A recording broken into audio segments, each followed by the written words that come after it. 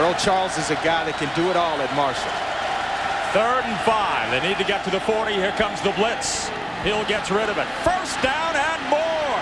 Look at this. It's Josh Davis in a sprint along the far sideline.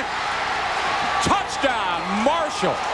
A 65-yard touchdown to Josh Davis and a penalty marker inside the five. You know what? I referred to this as being a heavyweight fight. It's more like the ultimate fight.